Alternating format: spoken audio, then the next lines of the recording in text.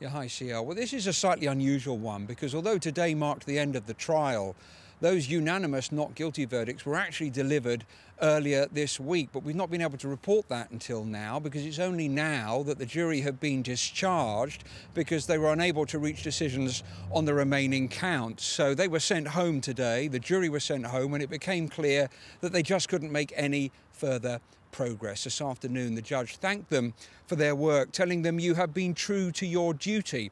So here we are after a trial that's lasted pretty much six months. The Manchester City player and former French international Benjamin Mendy, who at one time was the world's most expensive defender, has been found not guilty on six counts of rape and one of sexual assault.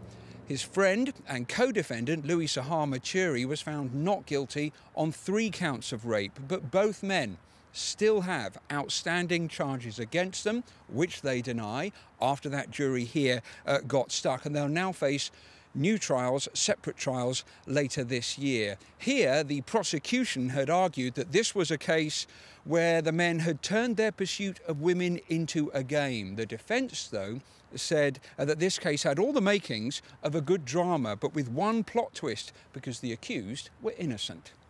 So, Peter, have we heard from Benjamin Mendy today?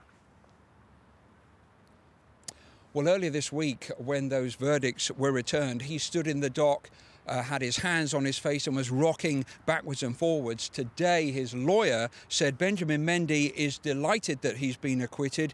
Uh, he wants to thank everyone who supported him and he looks forward to clearing his name on the remaining charges. So we heard from the lawyer, but not from him himself. He's going to have to wait a while, though, because that second trial, his trial, isn't due to happen until June. It'll be here, and of course, it'll have a new jury. As far as the club is concerned, Manchester City, well, he remains suspended by the club pending the outcome of all this uh, legal case, and the club didn't have anything to add today.